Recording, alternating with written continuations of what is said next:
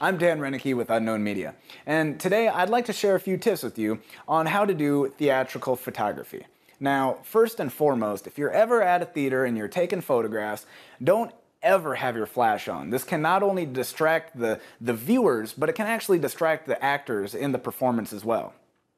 Another good tip is to make sure to have a lens that will actually open up quite a lot because you never know what the lighting's going to be in there and if it's too dark you may not get a shot.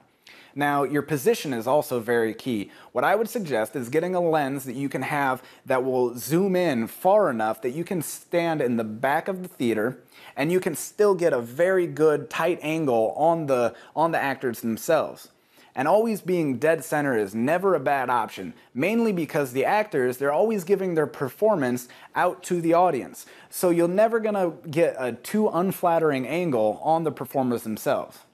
Now that was just a few tips for taking pictures at a theatrical performance. I'm Dan Renicky. Take your best shot.